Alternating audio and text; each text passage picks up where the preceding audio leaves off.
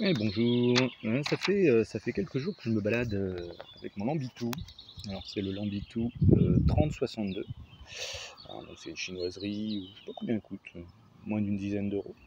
Euh, tout en laiton, en laiton euh, recouvert de quelque chose euh, genre cuivre, mais c'est pas du cuivre. euh, c'est comme s'il était plastifié un petit peu, mais pas vraiment. Ça évite que ça se, que ça se ternisse. Et, euh, et en fait, là, je me promène avec, j'ai dans ma petite sacoche à côté avec mon mini carnet. Et je le trouve absolument génial en fait. Je, bien mieux que ce que je pensais au début. Alors il est vachement lourd, mais il tient très bien en main. Euh, la plume est super douce, juteuse. hein, euh, pas de... ça, ça- écrit très très bien, c'est très agréable. Alors dedans j'ai mis la Blue Black Woodlers, qui est très agréable aussi.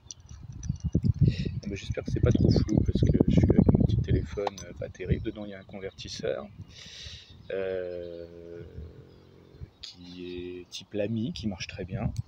Euh, la plume n'est pas une plume Lamy. Je viens de le faire tomber, c'est malin. Allez, une petite pause. on prend. Donc, donc voilà, il est, il est, donc il est, il est assez lourd, hein, c'est que du métal. Il est très solide.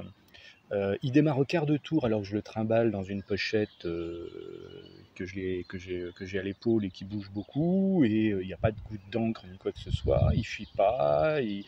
Et euh, on peut, alors si on veut, on peut poster le le, capuchon, euh, ce qui tient très bien, c'est fait pour, mais ça devient quand même très lourd. hein. Du coup, je le fais moins.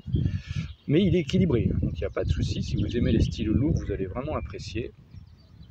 Hein, si vous voulez bien faire la mise au point, ce serait mieux. Vous avez vu le beau soleil? C'est sympa. hein.